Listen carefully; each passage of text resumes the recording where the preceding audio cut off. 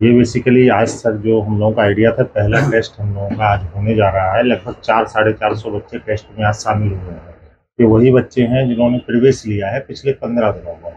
और पंद्रह दिनों में ही हम लोगों ने बच्चों को पहला टेस्ट दिया है। और टेस्ट का स्तर जहाँ तक मतलब मैं जान रहा हूँ कि हम सभी लोगों ने अपने अपने प्रश्न सर बनाए हैं। मतलब इसमें ऐसा नहीं है कि कहीं से इसको आयात किया गया है या मतलब ब्रांडिंग की गई है।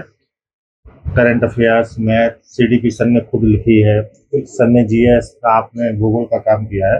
तो आप सभी लोगों को एक साफ़ संदेश संस्था की तरफ़ से है कि हमारा नॉलेज टाइम के साथ होना चाहिए और हमें हमेशा अपनी तैयारी का आकलन करते रहना चाहिए। लास्ट में हम कहते हैं कि लास्ट में हम पंद्रह टेस्ट करा देंगे तो अंत में कुछ हो नहीं पाएगा।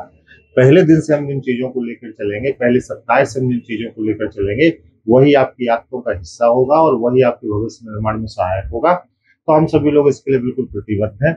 मैं न केवल मनोविज्ञान सी सीडीपी बल्कि बल्कि मैं सभी संपूर्ण पेपर आरपी सर ने, संदीप सर ने देखा है, सर ने देखा है। तो मैं सर से जानना चाहूँगा कि सर, पूरा पेपर आपने देखा अपने विषय के अलावा तो पेपर का स्टैंडर्ड कैसा लगा?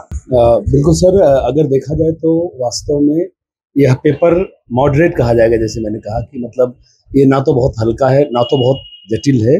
और जैसा कहा गया है कि इसमें किसी गाइड से या किसी सस्ती जगह चीप मार्केट इसमें तो सस्ता बाजारी से इसमें क्वेश्चन नहीं लिखे मैक्सिमम लोगों ने अपने पोर्सन स्वयं लिखे हैं। और इस तरह से देखिएगा कहीं भी ऐसा नहीं लिखा है कि एग्ज़ाम चैप्टर खत्म होने के बाद ही टेस्ट होना चाहिए। आप सीटेट देते हैं, पता है आपको अधिगम के लिए आकलन का कॉन्सेप्ट यही है पढ़ने के दौरान या पढ़ने से पहले भी एक पूर्व आकलन है तो ये ये हम लोग कर रहे हैं ताकि लोग जज कर सकें, लोग अपनी कमियाँ पहचान सकें और समय रहते हम इस पर वर्कआउट कर सकें, जो कहते हैं ना उसका निदानात्मक उपचार का एक सिस्टम होता है। तो ये बहुत ऊर्जा के साथ हमने किसी इतफाक से या संयोग से नहीं शुरू किया गया है। यह सीरीज़ हमने ऊर्जा के साथ शुरू की है और इसमें हम कम से कम पंद्रह मेगा प्रैक्टिस प्लान कर रहे हैं। तो आगे के लिए मैं चाहूँगा दो शब्द आदरणी संदीप सर भी कहें। देखिए, आपको जैसे पता ही होगा काउंसलिंग के दौरान भी हमारी टीम आपको बताती है, जब हम लोग एडमिशन लेते हैं, तभी हम कहते हैं और क्लास में भी हम जब प्रेजेंट करते हैं क्लास को, तब भी आपको कहते हैं कि पढ़ाई की शुरुआत आप अपने जो है परीक्षा के पैटर्न से करिए और परीक्षा के पैटर्न से रूबरू कराना भी हमारी रिस्पॉन्सिबिलिटी है। और इसमें हमने पहले दिन से आपको कहा था कि हम थोड़ा सा जैसे ही प्रोसेस शुरू करेंगे, हम आपको पहले तो टेस्ट में इन्वॉल्व करेंगे। हमको, हम आपको एग्ज़ाम का स्टैंडर्ड नेचर और उसका जो डिफिकल्टी लेवल है, उसको समझाएँगे।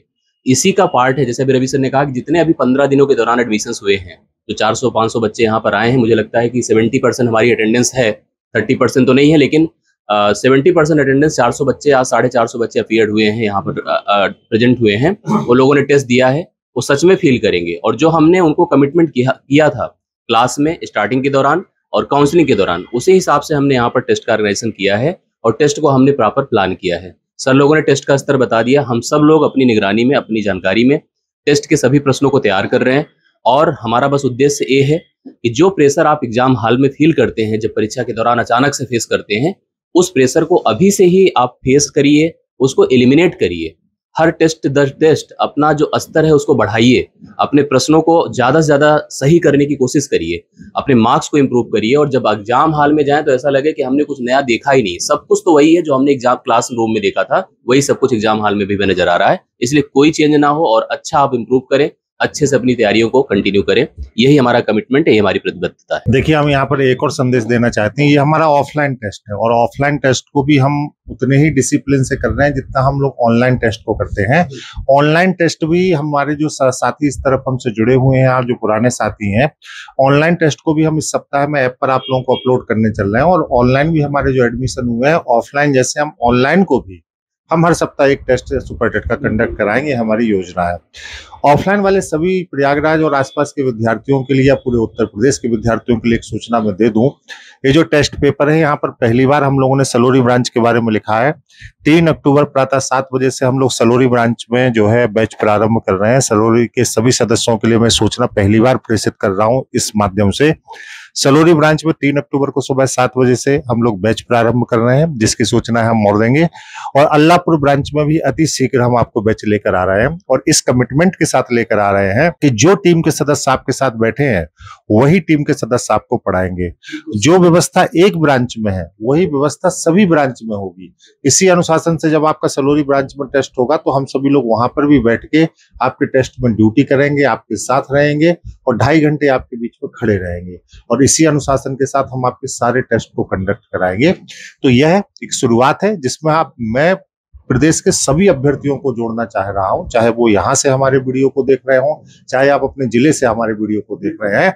आगे हम आपको ये सुविधा भी देंगे कि कंटेंट को हम आपके पास तक कैसे पहुंचाएँ। हम ज़्यादा से ज़्यादा रीच आपको कैसे दें, हम लोग इसी में प्रयास कर रहे हैं। हमारे दो जीएस के साथ ही और बैठे हैं, आदरणीय सतीश सर हैं गौरव नरिंजन सर। पहले मैं चाहूँगा कि जो है गौरव नरिंजन सर बोले और फिर सतीश सर उसका समापन करें सत्र का, बोलते हुए सबसे पहले तो जो भी सदस्य इस टेस्ट पेपर को दे रहे हैं, आप सभी को शुभकामनाएँ। मैं बस यही कहूँगा इसके लिए कि यह एक गुणवत्तापूर्ण टेस्ट पेपर है। हम सभी ने इसमें मेहनत की है और आपके सामने ऐसे प्रश्नों को हम लोगों ने रखा है जिसको बार बार आयोग आपसे पूछता है, ठीक है? बिल्कुल निःशुल्क टेस्ट पेपर है। मैं आपसे हमेशा एक बात कहता हूँ क्लास में कि क्लासरूम और एग्जामिनेशन हॉल में अंतर होता है। जो आप प्रेशर एग्जामिनेशन हॉल में एक दिन में करते हैं ना, उसे हम टेस्ट पेपर के माध्यम से आपको कराने जा रहे हैं ताकि आप इन चीज़ों से अभ्यस्त हो सकें और जब आप पेपर दें अपना, फाइनल पेपर दें स्टेट की परीक्षा का पेपर दें तो कोई भी भवक आपके अंदर ना हो और आप अच्छे से ईमानदारी के साथ, अच्छे नंबरों के साथ पास हो सकें। तो अनंत शुभकामनाएँ हैं। अगली बार और अच्छे से जो सदस्य नहीं जुड़े हैं, ज़रूर जुड़िएगा। निश्चित तौर पर आपको इससे फ़ायदा होगा। सतीश सर बहुत अनुभवी हैं और प्रयागराज में उन्होंने बहुत लंबा समय बिताया है और उनका पढ़ाने का जो अनुभव है वो मतलब बहुत ज़बरदस्त है सतीश सर का और जो है हम सब लोगों में सीनियर भी हैं सतीश सर। मैं सतीश सर से ये जानना चाहूँगा कि सर, आज उन्होंने टारगेट ऑन में टेस्ट के माहौल को देखा अपनी संस्था में। उन्होंने पेपर को भी देखा और ह्यूमैनिटीज के सब्जेक्ट पर सतीश सर की एक ज़बरदस्त पकड़ है, मानविकी के सब्जेक्ट पर, जो आपके सामाजिक अध्ययन का एक बड़ा पोर्शन है।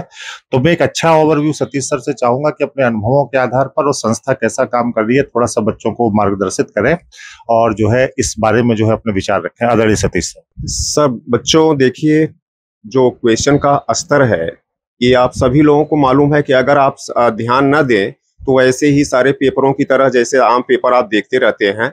वैसे ही देखते रहे तो बात अलग हो जाती है। लेकिन जो आज का पेपर आप लोगों के लिए बनाया गया है, दिया गया है, बच्चों अगर पूरी ईमानदारी के साथ हल करेंगे तो इससे हम लोगों को भी थोड़ा सा आकलन करने का ये मौका मिलेगा कि जो हम लोग पढ़ा रहे हैं, उसके अनुसार आउटपुट मिल रहा है कि नहीं मिल रहा है। साथ ही आने वाले समय में हम लोगों को आप लोगों के साथ कितना मेहनत करना होगा, इस बात का भी पता चलेगा।